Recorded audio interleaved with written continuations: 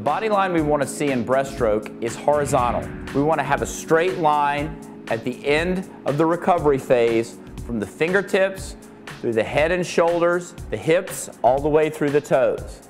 When you're in this position, you're creating the least amount of drag and you're maximizing all of the forces of the pull and the kick in the forward phase of the stroke.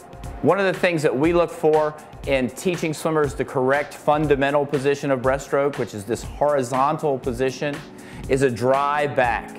We want to see from the back of the head all the way to the hips, not covered in water, but dry. And if you're in this position, you're going to be right on the surface. You're going to be able to achieve maximum forward speed.